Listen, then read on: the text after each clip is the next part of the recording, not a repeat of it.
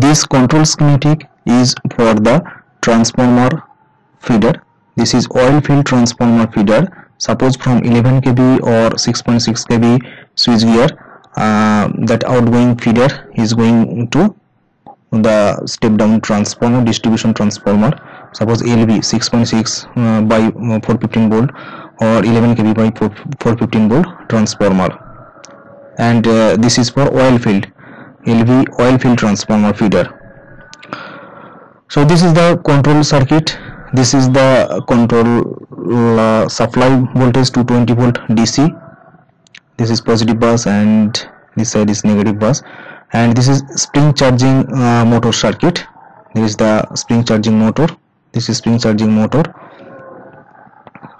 This is closing circuit.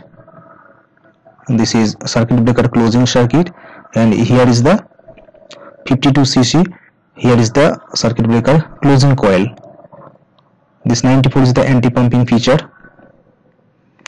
When the breaker is in test position then this path will will throw and uh, in that case if you press the push button then this will operate. This will go in this way this way this way this way and it will energize this 52 cc closing coil of the circuit breaker and the circuit breaker will be closed. This is the service position. If the breaker is in service position then this path will be followed. And k1x is the interposing relay contact interposing relay auxiliary contact. So it will be closed. In uh, if you give command uh, to close the circuit breaker if you give command from DCS or PLC so this K1X contact this contact will be closed. Then this path will be through. Here in this way this way. Here it will come and it will energize the closing coil of the circuit breaker. If the circuit breaker is in service position then this path will be followed. So this is 52x that means circuit breaker uh, stop command or trip command is not given. In that case it will follow this path this path. So circuit breaker is in uh, closed position because this 52cc already already energized so, so um, this contact will be closed 52a this is the uh, contact of the breaker.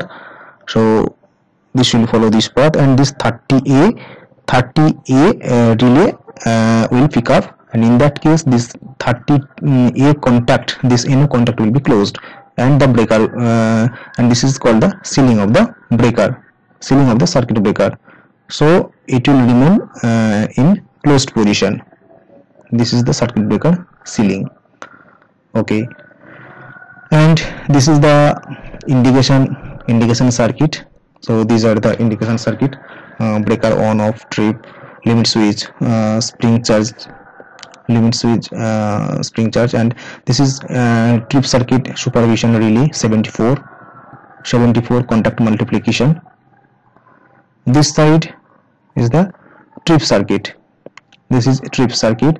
So suppose the breaker is in test position and uh, you want to trip the circuit breaker through the uh, local push button station. So if you press the push button this uh, then this contact will be closed.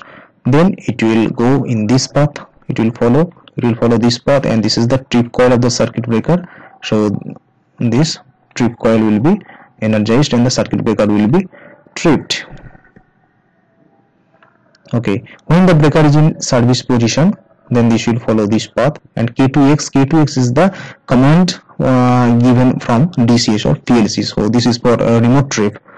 So if you want to close the circuit breaker from remote DCS or PLC then uh, then through interposing relay here is the interposing relay this side. This is the interposing relay circuit. This is the main interposing relay contact K1 for closing the breaker and K2 for tripping the breaker. So with the help of this uh, contact there is the contact contact multiplication relay. So k1x and k2x you can see from DCS from DCS or PLC this K1 uh, main interposing relay K1 and K2 uh, this signal is coming. So if this K2X gets energized in that case this K2X this NO contact will be closed and the breaker is in service position. So this path will be through and it will it will energize this 52 TC close uh, trip coil of the circuit breaker and the circuit breaker will be tripped this is the uh, protection path. This is the 86 uh, lockout relay main lockout relay. If the lockout relay operates then the circuit breaker will be tripped okay.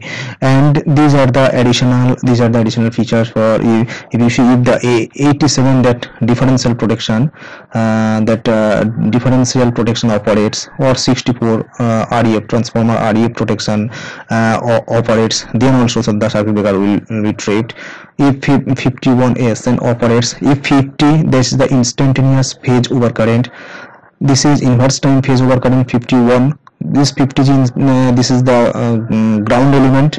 So if these uh, relay any any of the uh, relays operates then then it will trip the lockout. This 86 relay and 86 relay contact this will be closed.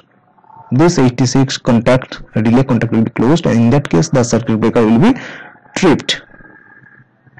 Another another options is also available. Suppose this is this is uh, since this is oil filled transformer there is the Buchholz relay inside the transformer. So if the Buchholz relay trip or the WTI level is high that means winding transformer winding temperature indicator is high or the OTI oil temperature indicator is high it uh, if it exceeds the the set value of the oil temperature then then also the circuit breaker will be tripped. So this is the tripping circuit. Basically this will uh, trigger the 86 main electrical lockout relay 86 and the contact this in contact of this 86 relay uh, will be operated will be closed and in that case this trip circuit uh, this trip coil of the circuit breaker will be uh, energized and the circuit breaker will be tripped